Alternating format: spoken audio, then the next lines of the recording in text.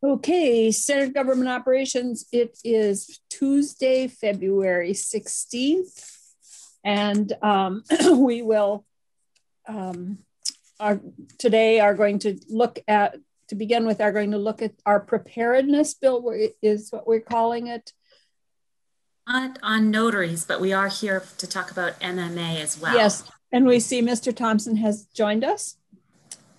So um, let us just, um, I know that uh, the whole issue that um, uh, Lauren, you have you indicated that you had been working on some language around MMA, but I think what I'll do is ask um, Mr. Thompson if he would like to just express his his concerns and what what he what we heard from him to kind of set the stage for us. And then we also have heard from um, the Vermont Association Association of Pediatric something or others. I don't remember the title, but and a Dr. Bell will be re, will be joining us next Friday when we take this up again. That's when she was um, available.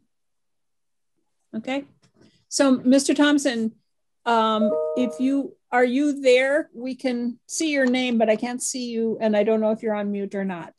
Uh, no, I think oh, here we go. Here. here there you are. Okay. Perfect. So this is uh, Senate Government Operations, and we deal with um, professional regulations. Yes, ma'am. Of many sorts. And um, so uh, you've never joined our committee before. So what I'm going to do is I'm going to have our committee members introduce themselves to you. And I'm Jeanette White from Windham County. Nice to meet you, Jeanette. I'm Anthony Pollina from Washington County. Ryan Collamore from Rutland County. Ryan, nice to meet you, sir. Alison Clarkson, Windsor County District. Nice to meet you, Alison. Kesha Ram from Chittenden County. Nice to meet you, Kesha. And along with, um, we have uh, Lauren Layman and Lauren Hibbert and Chris Winters, who are from the Office of Professional Regulation yes, and the Secretary of State's office, and our um, attorney, Amron Abajola.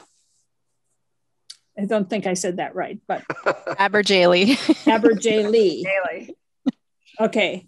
And so, and, if you would like to just kind of um, oh, send us what your concerns were, and I know that uh, the Office of Professional Regulation has been working on some um, some proposed language that they will go through with us. Um, but if you'd like to start us off.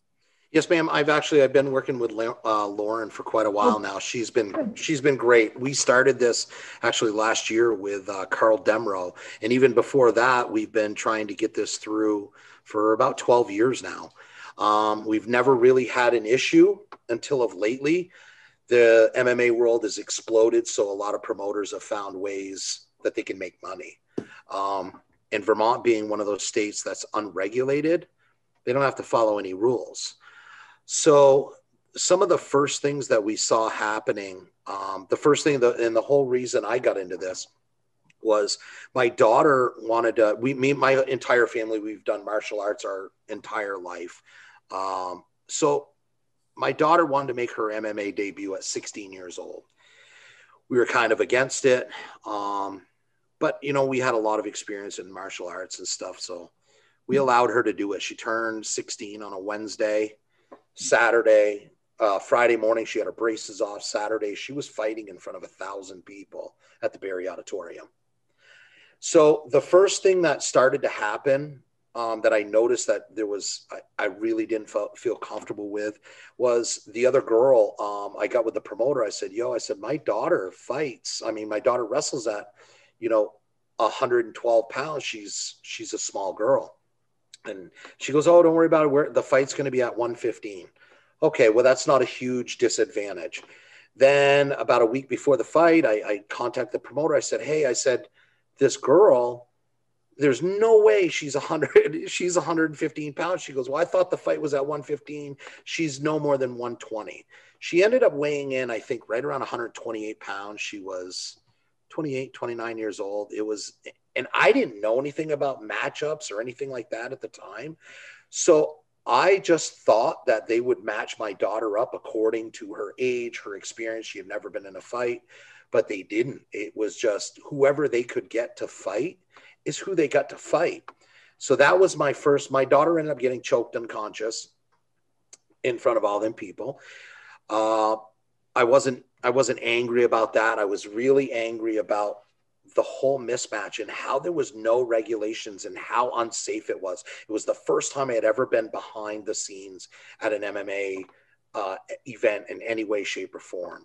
So we ended up purchasing, the lady ended up selling the promotion and we ended up purchasing in it. Uh, not the actual name. We actually, we purchased the cage and the ring and that's when we decided we're like things are going to be different. We're not going to do this like this. It's just so unregulated. I was so surprised somebody hadn't gotten killed. Like there was no guidance. There was nothing. I was i i, remember asking the promoter i was like what do i have to know? What do i have to no there is no rules. You're not regulated. Don't worry about it. I was like oh my god. So the first fight i remember she was helping me uh, she was trying to show me the ropes and everything and they had a young kid he was 17 years old his mother didn't want him to fight, but the promoter, she convinced him to. And she goes, Well, I'll call this guy from New York. He'll come right over. Another thing I didn't even know the kid from New York came over, was uh, medically suspended because his whole face had been smashed in a bad accident. So he couldn't get approved to fight in New York. So he'd come here to Vermont to fight because we have no access to the database of suspended fighters because we're not a sanctioned state.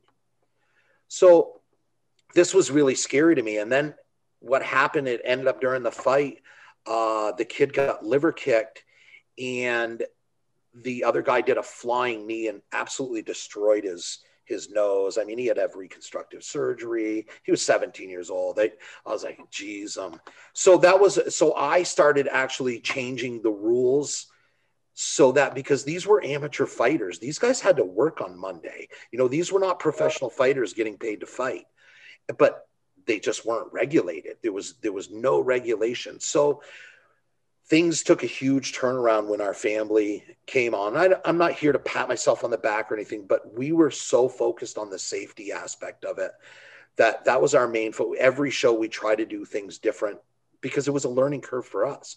Then other promoters saw what they thought that we were making a ton of money, so they just started coming into Vermont. This is when you had a guy that came from New Hampshire. Um, they came up, they set up a cage. They wanted me to be a judge. We went down there. The cage was too big for the building. So there was a steel bar that ran through the middle of the cage. So they wrapped it with towels and tried to have the fight anyway. I was like, we're not down with this. We're leaving. We got to go. Um, the last, sh- uh, they had a fight down in Bennington another promoter who's been banned out of New York came over here to Vermont. They put a bunch of two by fours together, eye rings. They had a fight in the middle of the Bennington Park, charged admission to get into it. At one point, uh, one of the fighters from New York had a guy down. He was beating him. The fighter looks up to the ref and he goes, Are you going to stop this? And the ref goes, No. He goes, He's good. He doesn't want to stop it. Well, a fighter's never going to say they want to f- stop a fight, especially in front of a crowd. So that guy beat him for a little while longer. And finally he got up. He was like, This is ridiculous. I've never been to anything and he walked out of the ring, just got up and left the cage. Another guy got hurt inside of the cage. They dragged him out and left him in the park at another area of the park, just left him there. He ended up with like permanent damage to his eye. Um, so then the last, I, I think everybody knows about the shows in Rutland, how that went down. Um, that was a big to do with the Vermont digger and all that. So that's them. That's theirs. All I can do is what we can do, um, and and try to make it as safe as possible for us. But once people, once money's involved, once people think that they can make money, or you know, then all all bets are out the window. You know, we spend a lot of money. We probably spend about $18,000 a show between medical staff, staffing. Um, we actually bring in a sanctioning body from New York. We bring another sanctioning body in because we don't have any sanctioning bodies here in Vermont. So that they bring all their officials, they bring all of the people that check the fighters. They actually look at the cards and approve the bouts so there's no mismatches. There's not a guy on there that's got 152 fights fighting a guy that's making his his debut at 16 or 17 years old. The other thing that we never regulated was kids. I had to talk the other promoter out of letting these two kids beat the crap out of each other. He finally decided just to have a grappling match with them. Um, I didn't agree with it, and I told him that. I expressed that to him, but there's no regulations here you know, all I can do is give opinions and say I probably wouldn't do that. You know, I, I told him that I, I, I don't want to get too much. I'm not going to make it into like me and him going back and forth, any kind of thing whatsoever like that. I gave him my opinion um, on what I thought was right and what was wrong, and we didn't see eye to eye on that on on those. So the other thing that we're missing out on is amateur fighters, a lot of what people are seeing these days are huge impacts from CTE, brain injuries, um, concussions, stuff like that. We're seeing that everywhere across sports. So, what a lot of people have started doing is they're now doing less sparring, full contact sparring, saving that for the actual fights. So your brain can only take so many shots. It has, say, it has your brain has five thousand shots that it can take to the head before you're permanently injured. Now, without us having sanctioning and without Vermont fighters being able to turn professional in Vermont, what happens is they have to leave this state. And so when they leave the state, their fights are no longer recorded. Um, because we're not we don't have any way to record it. We can't record it with the abc they're an unsanctioned fight. So no other states look at it because they won't recognize those fights because they don't know how the fight was put on. It wasn't regulated. It could have been some sort of backyard. So they don't they don't count them.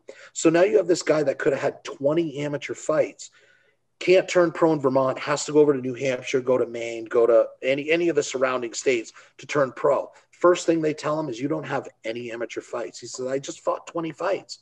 You have no amateur fights listed on the ABC uh, website. So without that, you now have to do 10 amateur fights in New York to turn pro in New York. So Vermont fighters are at a huge disadvantage just in that aspect alone because we have no access we have no path to turn professional, to turn this into. We have a huge wrestling community here, some great wrestlers. This MMA opened up that opportunity for them to make this a career. They can't do that here. But even without all of that, yes, ma'am. I'm sorry, somebody else just popped up. No. Oh, I think something just happened. Okay. Um, the regulations has has never been needed as much as it has been now. Before we got away with it for a long time because there was only one promotion in Vermont and she tried to do it right. So people weren't complaining. Things people weren't people were getting hurt but they weren't being permanently injured. There's a gentleman out there that has permanent brain injury. He was like he got into a really really bad motorcycle accident and i refused to put him on the card because he knows there's no sanctioning in vermont so he knows he could actually fight. And uh, i said absolutely not. You and me both know because his doctor told him he wouldn't clear him. If he got punched he could die. So he went and he went to another promoter and they were going to put him on the card and thank god covid happened and all the fights got shut down. Because at that point that that kid and, and, the kid finally because he's finally got on meds and, and and got to counseling and stuff like that realized like what he was doing. He was self-destructing. He didn't care if he lived or died. And so he would have rather died in the cage. Well that's great and that's honorable but that's no fun as a promoter or somebody a spectator watching that. You know we're not going there to watch people die. We're going there to watch people express their martial arts to see which one is a superior art which athlete is a superior athlete and more importantly, it's that athlete testing his own skills. I train every day. I even at 47 years old, I'm going to compete in worlds for Brazilian jiu-jitsu next year. You can you train all that time and never have an opportunity to go somewhere and test it or test your skills to see if they really work. What ends up happening is you go to a bar, you go drinking. These are different. The, these are outlets. This is what ha- you end up getting assault charges. That's why we've been trying to work with the kids here in Washington that are in the drug program to get them into training, to get them into the MMAs. They are like the MMA schools around here. There's a bunch of MMA schools that opened up around here. This is a huge outlet. You see these guys that are uh, that have really bad addiction problems. They it's an addictive personality, so they get into drugs, but then they get caught. They get in trouble their punishment is they're locked down. They're they're locked in either their house. They have to go to a Zoom meeting, and they sit there and bite their nails. There's nothing they can do. Could you imagine being 20 years old? You're being you're locked in your house with your mother, and they say, "Don't do anything. Don't drink. Don't smoke. Don't go out. Don't do anything." So we're trying to take that energy and put it to good use. We have so many people that were recovering addicts that have just turned their entire lives around through this it's a it, it, it's a great outlet for people. But um, does anybody have any questions for me? Just before before I go to the committee members, I am going to say that um, I uh, we will hear a lot from people who just want to ban it to begin with because it's yes, considered a brutal a brutal sport and maybe not even a, a sport. But I will say that um, I grew up in um, a very nonviolent family, but my father was the amateur boxing champion of the state of New York. I mean, of North Dakota. Wow. So he, and at the time he was, they didn't use gloves. They, oh, yeah. Yeah. There's been a big long, push to try to get bare knuckle fighting here in Vermont. They, uh, and he, and he was a nonviolent person and he survived. And I, so I I grew up in a household where we didn't have television, but we listened to every boxing match on the radio. And um, so while I don't do that anymore, and I'm not so sure that I think it's a, a great sport to be beating up on each other, I'm not going to be judgmental about other people's um, uh, it's funny you say that because most of the martial artists, a, a, lot of guys, even the guys I trained with, have never been in a fight. But you know, if they if they had to, they uh, absolutely yeah. could. But they've never. It's just no reason to. They train yeah. every day. They do. There's just no reason to. Well, he was he was a little wiry guy, and anyway, so I, I just say that because I know that there will be a general outcry from people about um, it being a brutal um, endeavor and we shouldn't even be allowing it. So with that, okay. and so I needed to say that. Senator Clarkson? Thank you, Rex. Uh, I, I don't even know what mixed martial arts are. I mean, I know about karate, I know about jujitsu, I know about taekwondo, I know about boxing, I know about wrestling. All of those are regulated. All of those have rules about how to compete. All of those are very well organized I have no idea what mixed martial arts are. So I, I, I wish you'd begun with it. It does seem pretty tough. I mean, you talk about fighting in cages, and I mean, it just sounds so. Anyway, I'd love to have you explain what it is. Okay, so first of all, mixed martial arts is uh, a mixture. What it, it's a mixture of ground fighting, striking, um, unlike karate and stuff like karate's not. I used to do. I did taekwondo. I did. I did taekwondo for years, so I know that circuit. They do not do full contact fighting in the state of Vermont. It is not regulated that way whatsoever. Boxing is the only thing that's regulated in the state of Vermont. Other than that, you have karate schools. So what they do is you, you take your you take a guy. The way it originally started was with the Gracies, Royce Gracies they wanted to prove that Brazilian Jiu Jitsu was the best martial arts against all other martial arts. So, what mixed martial arts is supposed to represent is supposed to represent the best of those arts against another art. Plain and simple. You'll take a guy that's a wrestler and he will go and you'll see how a wrestler can do against a striker. Um, but MMA has evolved so much these days that now everybody trains in a wide range. They'll train in Brazilian Jiu-Jitsu.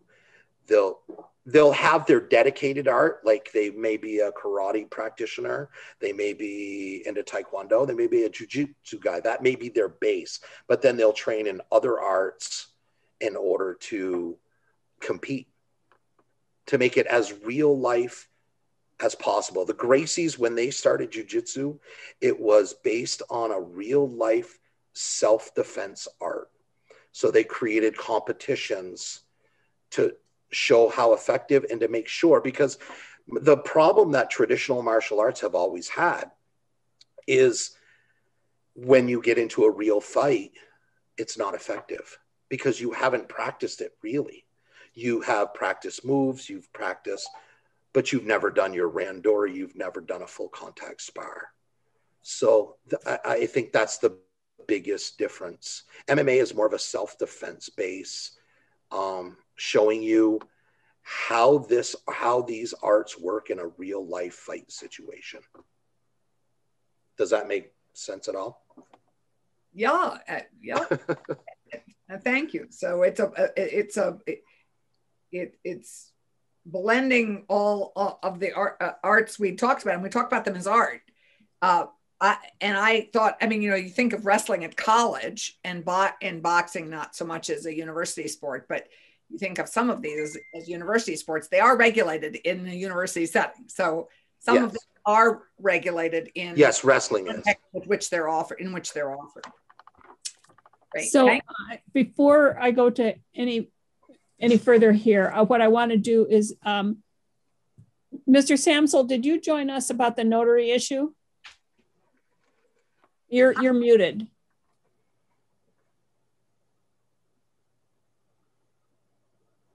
My apologies. Yes, I I joined in terms of the notary. Oh, great. We, we had a we, conversation. What? Yet? What were you saying, Alison? No, I said we, uh, we, you missed our good conversation, Joe. We're sorry to. It's great to see you, but we. Just... Oh, I picked up, I picked up a little bit on the MMA, so. So what we're doing, what we're doing with notaries is because it won't come up for uh, re relicensing or re-registering again until 2023. Yes. And any changes we make to the system is both time consuming and costly for the Office of Professional Regulation. Regulation. We have decided that we are not going to do anything about it this year because it's not going to affect anybody until 2023. So in the um, next session of this biennium, so starting in January of 2022, we'll then look at whether there need to be any other changes to the um, notary law and try to make any changes all at one time instead of just picking and tweaking and tweaking and tweaking and tweaking. We'll do it all at once. So we've we're done with that topic, unfortunately. Okay, it's been something that I've been working on since 2012, and it's it's changed back and forth. It's changed between the Department of Corrections being in ex officio status, and it's um, so I'm I'm not sure the how it's changed over time, but it's it's certainly something that's that's affected the Department of Corrections. Yep. So we will take we will take it up in January of 2022. And you certainly are welcome to stay with us to talk about mixed martial arts. Uh, nope, that's perfectly fine. And, and certainly I'm happy to testify. I, I plan to be around then. So, okay. Uh, God willing. So I'll, I'll, I'll testify then. And I'll follow up with you, Joe, because I read your email to everybody as we framed up the issue. But okay. I'll follow up with some of the questions we have for you. Perfect. Thank you. Thank you. Thanks. All right. Sorry about that little interlude there, but I thought it was important to let Mr. Samsel know that um, that he didn't have to sit around and wait for something that wasn't going to happen until January of 2021 or two. So, so okay. I would like to I would like to bring up um because um, Senator Alison um, Clark there. So one of the things that with the amateur fighting, there's a lot of rules with the amateur fighting. If you see the unlike professional fighting, so these if you have less than three fights, you have to wear shin pads. Um, if you have less than four fights, you are not allowed to do ground and pound on the ground to the head. There is no headshots. Um, ABC has a set of rules. So when your state is regulated, it's a very strict set of rules that everybody has to abide by. Those are the minimum rules. Um, like we use USMTA, they are a bit stricter with their rules, which is fine.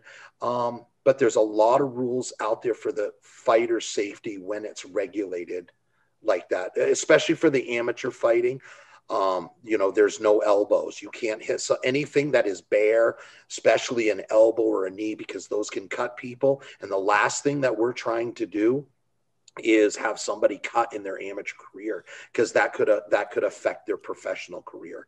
So that's a huge thing is not allowing you know because we even we used to have a problem at the auditorium. People would get mad. They'd be like oh you stopped that fight too early. Nope we don't. We do not stop that fight. It's very very clear. If there's any inclination you're not protecting yourself the fight is stopped. This is explained to the fighters during the rules meeting so that they know we are going to stop this. Any inclination that you're in any kind of trouble we stop it. It's an amateur. This is not out to beat the crap out of you. This is to find out who trained who knows their their art better and and who was the victor that day without any kind of permanent injury Yes, Senator Clarkson. Um, thanks, Rex. Uh, it's just helpful as we sort of frame up this universe. So, I'd lo- I, do you have a notion of how many Vermonters participate in mixed martial art competitions? That's one. You know, what's the universe of people that are involved? Oh my God, the, it's huge right now in the state. Well, huge. Anyway, um, and the second, so that's my first question. And the second question is, uh, do you have a state that you think has the ideal set of regulations in place to oversee this that we could look at? Well, before I before we go there, I will say that um, Lauren has been working on this and has some draft language for us. Okay, great. So, how big is the universe of? Okay, so just in cent- every karate studio, every taekwondo studio, every jujitsu studio, every MMA gym in the state of Vermont has fighters that fight on our cards everybody because they represent because they represent their gyms. So when I put a fight together, that's a fight card. And so uh I mean it's like a program? Yes, yes, ma'am. It lists everybody that's fighting that night. It's just a it that's a fight card. When I put my fight card. card together. Yeah, yeah, exactly. So yeah, I never thought of it, but yes. So every that's a big thing. That's a huge promotion for these gyms, dojos, because what they do is this is another competition. They show up, they bring their best guy from that gym. The other guy, their competition brings their best guy, and we have this friendly competition. Everybody thinks it's not friendly, but all of these fighters are friends with each other. We all cross train with each other. Um, it's a really weird situation, like most civilians don't understand, but it's that warrior culture. We all get along. We all, it's weird. Would you say it's 10,000 people that are involved in this in Vermont? Um, 10, 15? You don't, you don't. can, can I, I, just so, try and clarify, yeah, clarify that a little bit, maybe? The, the people who actually have participated in a in an MMA event might be a different number than the people, because all the people who are, from what I understood Mr. Thompson to just say, all the people who are training in any of these arts are eligible and can end up doing an MMA event. So all of those people can be considered part of the universe of people that are part of the MMA world but the number of people who've actually participated in an MMA event may is a subset of that. Does that clarify that at all? Well, I, would say the people who choose to do the fighting are that uh, is that universe, not necessarily the whole gym. Well, that's the thing is most those people, most people inside of a gym are training for for some reason, and and whether they are thinking about it now or thinking about it later, a lot of times that's the goal inside of those gyms. So if you have 40, 50 guys in every single gym, potentially you could have, because there's different classes, everything is broke down to weight classes, age brackets, experience. So there's a, like, uh, like I said, I compete in worlds. I don't go down there and compete against 20 year old guys. I go down and I compete against other 47 year old men that are my age, my height, and my skill level. So potentially, it's but my last show i have no problem filling out a card. I can't tell you exactly. I can get into one of my excel spreadsheets and i have lists and lists of names and coaches of people that have inquired. I have people all the way from canada inquiring to come down to get on cards. Um, the last show i had there was probably between 1500 and 1800 people inside the auditorium so I'm going to suggest that unless we have any more specific questions for Mr. Thompson about about this, that we jump to Lauren and I and I'm glad to hear that you've been working with the office. I I had not realized that before. I knew that Lauren had uh, been. Lauren's working, Uh, yes, we we agree. So, um, but so can we? Does that make sense, committee, to jump to Lauren and see what she, what they've been working on and come up with in terms of regulation? Yep. I see people nodding their heads and thumbs up. And, okay. In this Great. case, Madam Chair, just to be clear, the Lauren who's awesome is Lauren Layman. Uh, you both are. Just, with, with, you uh, just both are. Why having two is great because you can all get the compliment. and you come first, uh, Lauren Hibbert alphabetically.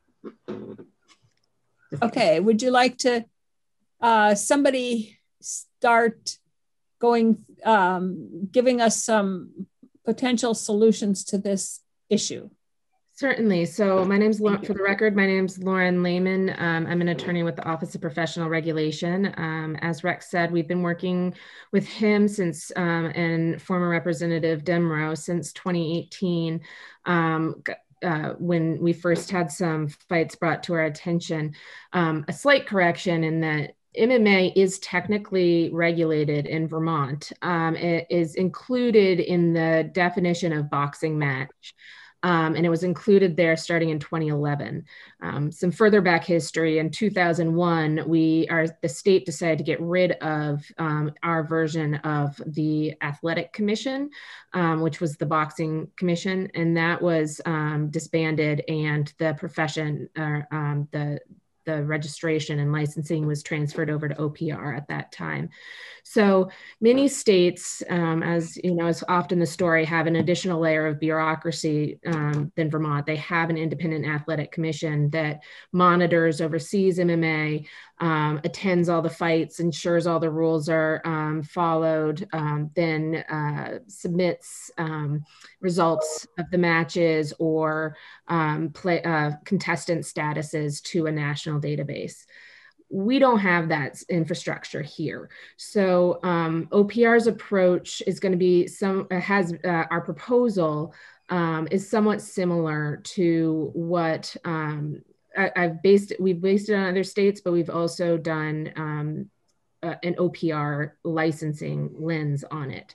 Um, so in 2016, the definition of boxing match was modified to include MMA. Unfortunately, the rest of the statute was not updated. So we still, in this, the rest of the statutes, if you read it literally, it says that all MMA fights, all MMA um, fighters have to register using national boxing IDs, have to use boxing rules in the ring. All of these things are incongruous and really just it's round hole square you know square peg round hole um, so uh, this leaves us in a sticky spot when we have um, some of the behaviors that Rex shared with you um, in, misconduct um, that we've seen in the past two years.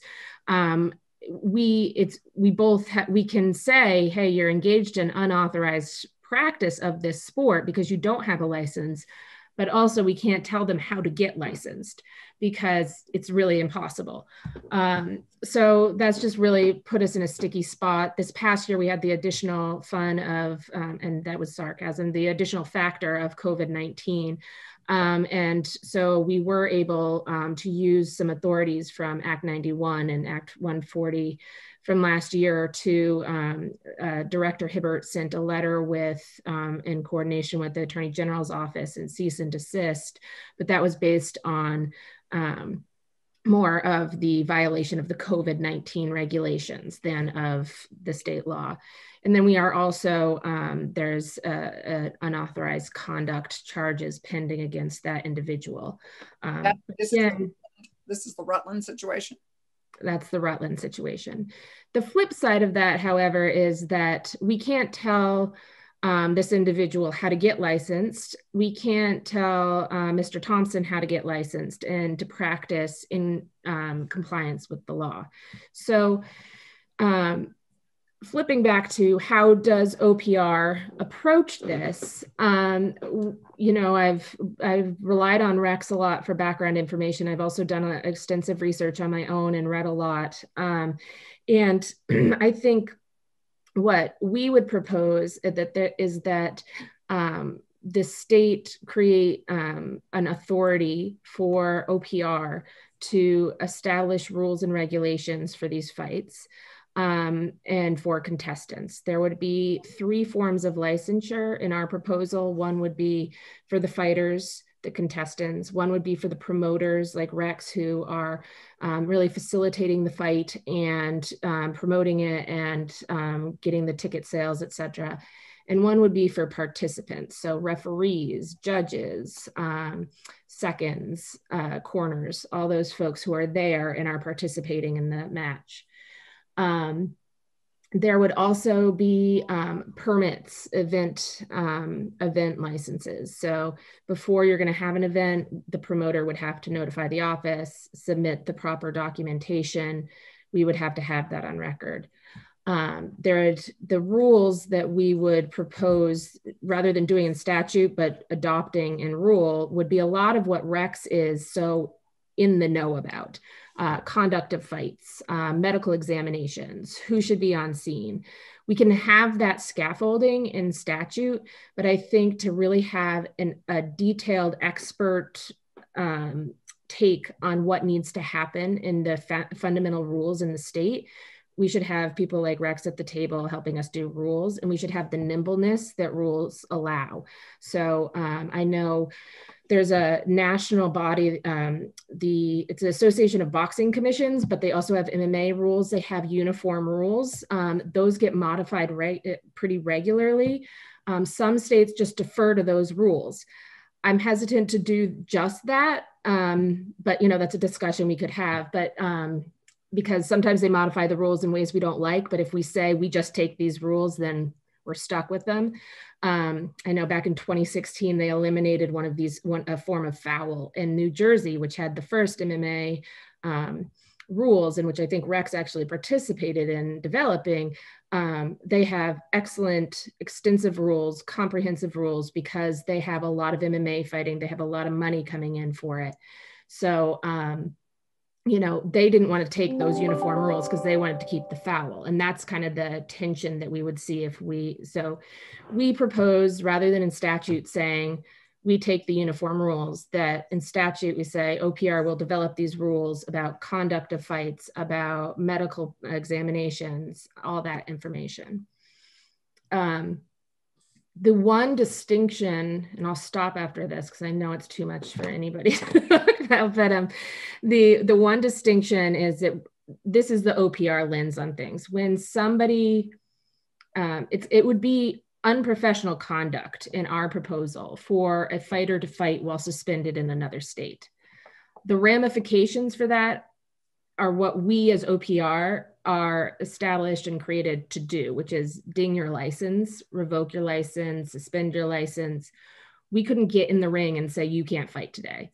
Um, that's kind of where the limits are. Nor, and, and I want to hear and talk to more about Rex, and I think we could do that in the rulemaking or even before we send you language about um, how to make people eligible to work in other states without having OPR staff updating fight results after every fight. Um, because that's not really a function that we do play, but other states have athletic commissions that do do that function. So, you know, kind of figuring out how to strike that balance, facilitate careers for amateurs to professionals, ensure safety, also ensure financial, uh, no financial advantages are taken. So um, another provision we have in the our draft would be promoters cannot own have a financial stake in a fighter.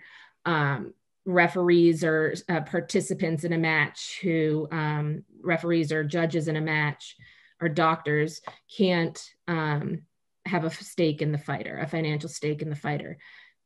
In that situation, they're going to fudge things to get their fighter in there. And so we need to add that financial protection. Medical insurance is another consideration that we were thinking about. So, um, you know, there's lots of details to be worked out. Um, and there's definitely some public safety concerns. We feel it should be it should be regulated.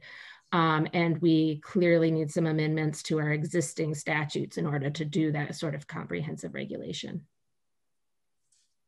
I will say that this is the first time I have ever heard anybody refer to the rulemaking process as nimble. So it just, I guess it's all relative compared to legislation. It might be. Yeah, it is. Maybe it's relative. Ma'am, we have most of this stuff. Uh, we have it all written up because Chris Ballard, who's not here today, wrote the legislation for Nevada and New Jersey. So we already have those rule sets. We have a lot of that stuff already down there. And anytime that you use a third party sanctioning, it makes no difference on if the promoter is somehow connected to a fighter in any way because promoters do manage fighters. That's a misconception. I i, I used to manage fighters. Um, but when you use a third party they bring all of the officials. They have to approve the fights. They have you, know what i'm saying? It's it's hard to do uh, Uh, it would be hard to do something shady but to take that away because when you do your when you do promoting, one of the things I'm promoting is usually managing fighters. So, Lauren. So, just to that point, I think, you know, if we, there's a, I think in our letter to you, I misused the term third party sanctioning body. What I had been envisioning in that, what that body doing would be doing that updating fight results and um, checking suspension statuses and filing um, any updates to those after the fight. Um, i think they do do that. Yeah so that's that's great. I think where opr might differ a little bit is we would like to set one standard set of rules for the state rather than using a third party sanctioner um, because a it makes expectations very clear takes OPR out of the business of assessing those third party sanctioners and offering like a whole gotcha. separate license for them to make sure they're meeting the qualifications. And also we have that we have a policy that has to underlie all of our regulations, which is it has to be the minimum necessary to protect the public. And so if we're using a third party that's rules are going to vary, it puts us in a You're absolutely right. Yeah of trying to enforce that. So, so what okay. you're proposing to us is that we would put in the statutes the ability for OPR to work with the appropriate parties and develop the rules, and there would be some some um, guidance in the statute around the types of rules that you would be. Is that what you're Yes. So, um, Senator White, that's exactly what I'm proposing. And, and this is hot off the presses because I've used President's Day weekend to kind of um, pull all these thoughts together. But as uh, Rex has uh, noted, we used model laws. I looked at New Jersey as foremost because it's the first and the most comprehensive.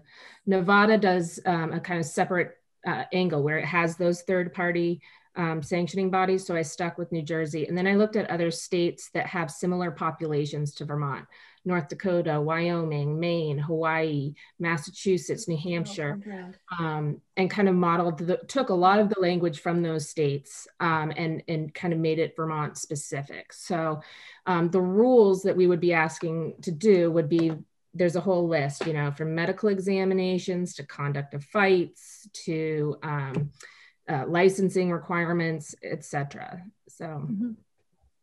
so committee, Senator Pollina.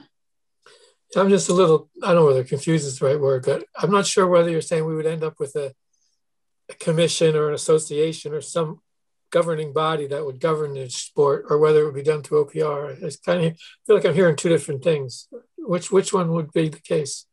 So in our bill, it would be OPR.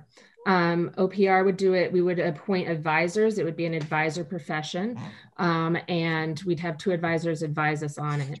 Um, and then we'd go through the rulemaking process. The way I've structured the, the statute draft bill, and of course it doesn't have to be the way it is, but would be a licensing process. We would license the participants, the fighters, the promoters, and the repercussions for violation of the rules or the law would be a license approach. You'd get suspended from your license, your license would be revoked, um, conditioned, fined. Um, so it's a very OPR centric approach to it, but that is kind of a, what we can offer. To this. So that would be the kind of the role that we, I mean, imagine a boxing association or sanctioning organization. That's the role that they would normally play. You're saying OPR would play that role.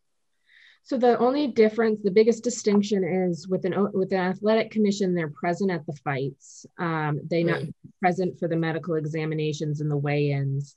Um, they um, would then go back and submit the results of the fight. So they're really fight. They're really um, sports centric, and they that's what they do. So they're not just focused on the licensing. They're focused on um, being an active participant in in the actual match. Um, I think OPR and has proposed inspections of um, for the event license for each event. There would be an inspection of the ring and the facilities beforehand, but we would not, and we do that sim something similar with demolition derbies at the fair and with motor vehicle racing. We go and inspect. Um, and this would be a similar thing, but we would not have an OPR person present at the fight to make sure. Um, the mechanism of um, of enforcement there would be complaints. And we've seen in the last year that there is good oversight in the community and people are willing to come and Rex, you know, and, and others have come to us and said that we've seen this, this is inappropriate. Um, and so we'd be, just as we do with all of our other professions, offer some level of trust that rules will be um, complied with. And if they're not, OPR will be notified. Any other questions? Uh, Senator Collamore. Thank you, Madam Chair. So Lauren, normally if we were going to add an occupation in Vermont, we would go through the sunrise procedure where there's a, you know, a study and all. I'm hearing that you sort of already have done this and that you're going to move immediately to the uh, licensing level. And I'm not taking a position on that, um, but I'm just curious about that. And I also have a question about um, the cost involved to do all this and how are we going to pay for it? Sure. So, um, with regard to the um, sunrise analysis, the the the figuring out, we already regulate MMA in Vermont. So, uh, you know, we kind of worked from the assumption that that that determination had already been made that um, some sort of licensure was necessary to protect the health, safety, or welfare of the public in Vermont. Um, I did think about that this weekend quite a bit, um, but I think both because it's already been regulated and included in the laws in 2016, it's almost as if we're taking a part of an existing law and making its own separate law. Um, and so that determination has already been made. Um, you know, I think if we were to do an analysis, it would be somewhat of a kick the can down the road situation um, because it's very clear to us from the last year that there is demonstrable public threat, a risk um, from not regulating this profession. Um, and in the three elements of the profession, there really are three sub professions within it. So you know we would do the analysis present it to you and then you guys would make that determination ultimately of course. But um, it, it, it seems to opr at least um, that there is a public risk from not doing this. And um, and and so i took you know what we had in place already took the scaffolding of what we had for boxing and and applied the um, appropriate standards to the field based on new jersey and other states. Um, regarding resources, I can I can talk. I don't. I'll let, defer to Lauren on office resources for charges. Um, I looked at other states um, for fighters um, for everybody who's not making money here. Um, it's twenty. It would be twenty five dollars. Um, for the promoter, it would be five hundred dollars. Those are the fees that are for boxers right now. There's also um, a surety bond um, that's also still in the boxing statute, where a $10,000 surety bond to ensure that taxes are paid, medical insurance is paid, fighters are rules are complied with. Um, and then there's a 5% gate tax is how it's referred to in the statute right now, but um, it, this is similar with other states as well, um, where uh, within 72 hours after a fight, a promoter would submit a report to the office with ticket sales information and gross receipts information, and 5% would be sent to the office to pay for regulation. And that would be put in the professional regulation fund to pay for the regulation of the profession. So I'll ask Lauren, would, would those fees be enough to cover the administrative costs?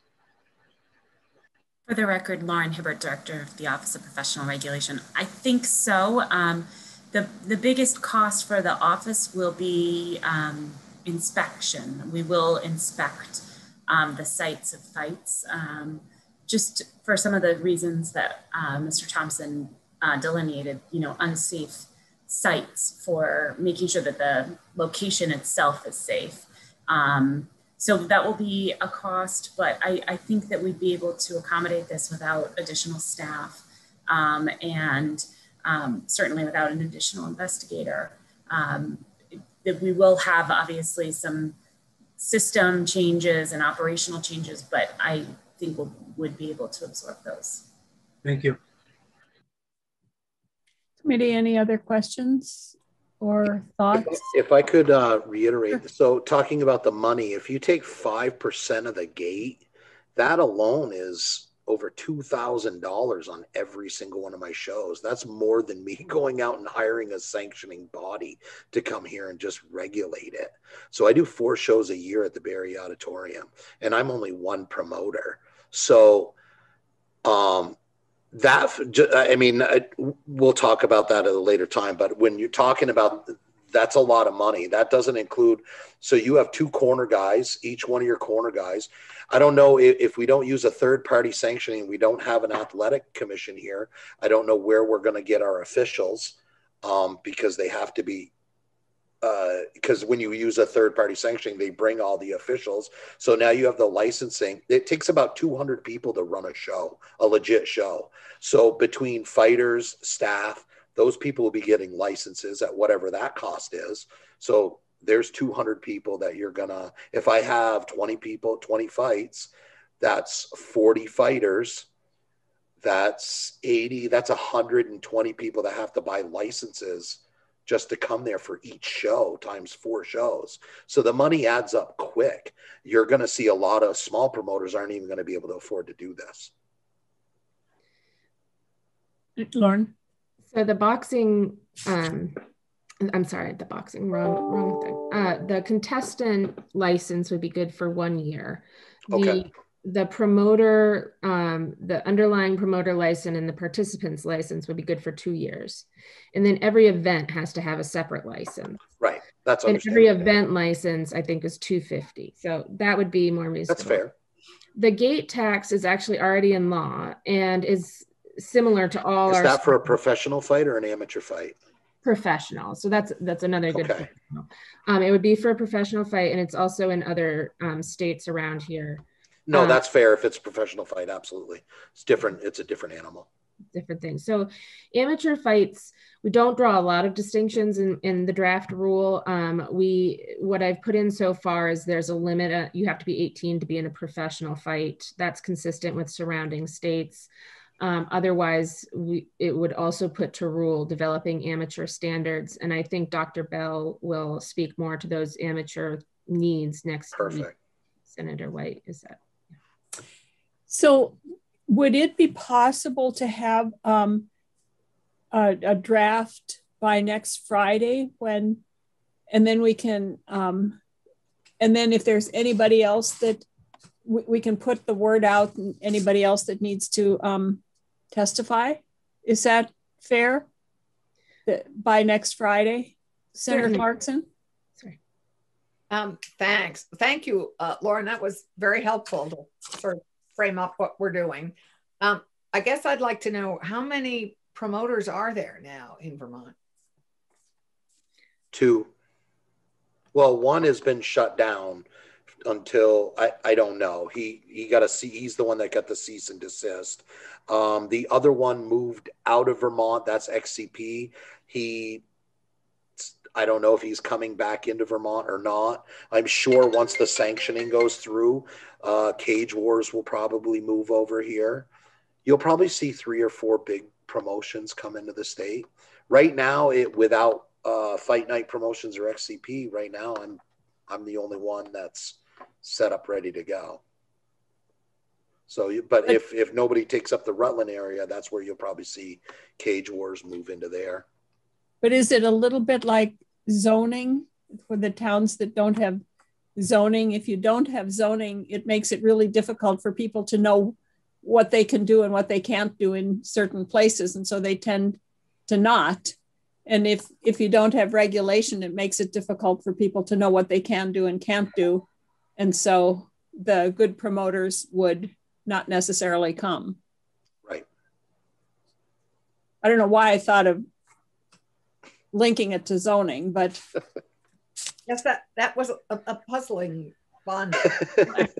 it actually brought up a good point, which is I think as part of our um, proposal for licensing, or at least in rules, we would have um, some elements um, of of crowd control.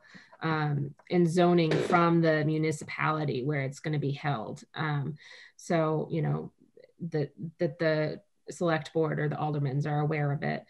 Um, and then in terms of coordinating by next week, we have a draft. I think we need to do some internal review of it really quickly before we start mm-hmm. circulating it. But um, Rex, I, I, told Rex I'd send him that. So as soon as we do that, I'll coordinate with him to make sure we're as close to being on the same page as we can be um, as well. And we're not talking about this Friday. We're right. talking about a week from this Friday. So I believe that's the 26th. So I, we would be great with, I think, Lauren and I, we already have a language. Um, we just need to do internal fin- finality and finalizing and, and then okay. circulate.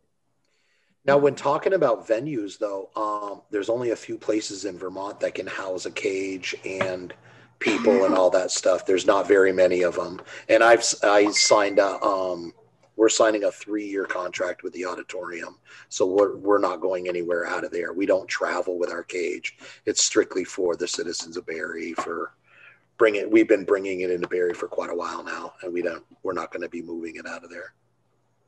Senator Collamore, did you have a? I, I do. Thank you madam chair. So rex i initially got the impression that this was sort of the wild west uh, when you mentioned that we had no regulation at all but now hearing your testimony, you're kind of like the only guy in town. So who are we likely to hear from that's opposing this? Um, so the originally the only person that ever opposed this was the other promoter. Um, because the other because once you become regulated, you no longer hold the reins. You can't make lopsided matches. You can't you can't overlook blood work. You can't you know a guy may have hepatitis. This has been huge in our state. Well i i didn't bring my i didn't bring my blood work to the weigh-in. All right well the fight's happening. It's going on anyway. When you have sanctioning all this stuff is handed in ahead of time. So same thing. So he this was the only he was the only person that ever was against the sanctioning was the other promoter. Even the other even the promoter of xcp wanted to get sanctioning in this state. The one that that did it with the cage with the bar through the cage. Even he said it. He was like, I would absolutely do this in this state if they had. That's why he went to New Hampshire. So um thank you. Yeah, there, there was only that that's the only person that I know of. Any other questions or con- thoughts or concerns? I, Senator Clark oh Senator Clarkson. You're muted. I'm trying to be better. Um, I'm just curious, Rex, what's the breakdown uh, between men and women in your contestants? Oh, that's a great question. Women have started exploding onto the scene. I actually, right before the COVID, I was trying to do an all female card because I have so many female fighters that are coming up through now. Um, it's no longer just a man's sport, especially with Brazilian Jiu Jitsu. So, one thing I, te- I, I do Brazilian Jiu Jitsu and I advocate it for women. Brazilian Jiu Jitsu was an art that was specifically made by a frail old man so that he could protect himself against large, bigger opponents. So that's why so many females have just gravitated towards Brazilian Jiu Jitsu. And then you have the savage women that want to be Muay Thai kickboxers, and you have them too. But it's, it's, um, I could fill an entire card with nothing but female fighters right now, tomorrow. And have you had an all female fight yet? No, ma'am. That because I had I invited Chelsea Tucker down. Um, Chelsea Tucker trains out of Joe Lauzon, UFC fighter Joe Lauzon's gym out of Massachusetts. She came. The energy was incredible. The people went nuts over it.